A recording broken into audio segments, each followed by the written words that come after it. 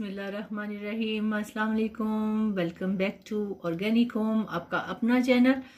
जी, आज ये जो आप देख रहे हैं, ये है ओवन। नॉर्मल ओवन जो होता है घरों में, वो है। किसी के पास इलेक्ट्रिक होता है, किसी के पास ये गैस वाला होता है तो मेरा गैस वाला है। तो इसको मैं डिहाइड्रेटर में किस तरह कन्वर्ट कर लेती हूँ? मैं ये आपको दिखाती हूँ। और डिहाइड्रेटर जो है, वो ज़रूरी भी नहीं कि हर कोई परचेज़ करे, क्योंकि घरों में इतनी ज़्यादा ज़रूरत उसकी नहीं होती। हम आम तरीक़ों से भी लहसुन, अदरक, धनिया, पुदीना, मेथी, कोई भी चीज़, टमाटर, वो हम सुखा सकते हैं।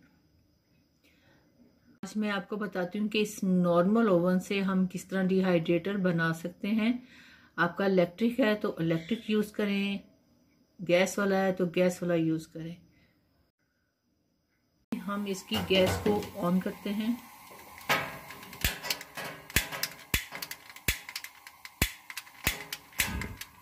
ये गैस चल गई है। अब ये दरवाज़ा पहले खुला है, जब मैंने गैस चलाई है। अब मैं ये दरवाज़ा 10 मिनट के लिए बंद कर दूँगी। बिल्कुल आहिस्तगी से हमने इसको खोलना है दरवाजे को। और हमारा जो मतलूबा जो हमें डिज़ायर है टेम्परेचर वो अच्छा खासा गर्म हो गया यहाँ पे।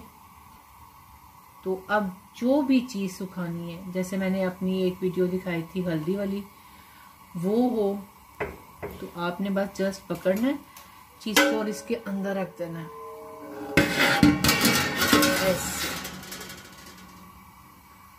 पाँच मिनट तक आपने दरवाज़ा खुला रखना है और इसको फ्लेम को भी जलते रहने देना।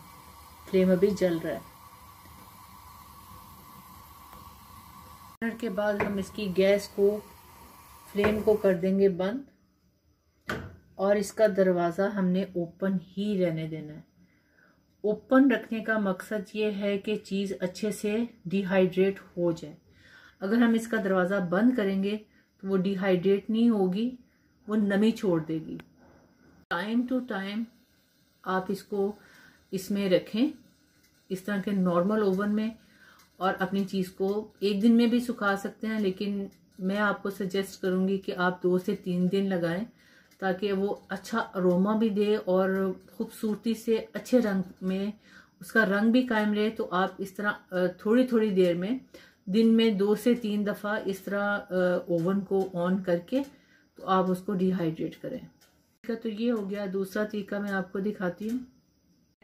एक और तरीका डिहाइड्रेट करने का। बिल्कुल मीडियम हीट पे देचके को गर्म कर लेना। है लोग देचके में केक वगैरह बना लेते हैं। उसी तरह ये थोड़ा सा हीट हो गया इसको। तो हम एहतियात से ऐसे मैंने स्टैंड नीचे लिए। तो उन स्टैंड के ऊपर मैं ये रख दूँगी। अदरक को। कोई भी चीज़ जो आपने ड्राई करनी है वो तो अब इसके ऊपर हमने ढक्कन नहीं देना। ऐसे ही इसको खुशक करना है। गर्म तो ये देच का हो गया, अब नीचे से जो हीट आएगी, वो उससे ये अदरक अच्छे से ड्राई हो जाएगा। अदरक हो, हल्दी हो, जितनी भी मेरी वीडियोस हैं जिसमें मैंने बताया है कि जी हाइड्रेट डिहाइड्रेट कैसे करना है, या अगर धूप नहीं है तो आपने कैसे सुखा सकते हैं? ये दो मेथड हैं जिनके घर में ओवन भी नहीं है। वो इस मेथड को ले लें और इस मेथड से काम कर लें। आपको मेरे ये दोनों मेथड पसंद आए होंगे। इसके अलावा भी और बहुत सारे मेथड हैं। तो इन दोनों मेथड को अपना के देखिए, स्टेप बाय स्टेप, जैसे मैंने कहा है, वैसे करके देखें। इन आपके जो चीज़ें हैं ख़राब नहीं होंगी और आप आराम से चीज़ों को सुखा सकते हैं। और अब रमज़ान आने वाला है तो पहले से ही तैयारी शुरू करें और ऐसी चीज़ों को बना के रखना शुरू कर दें।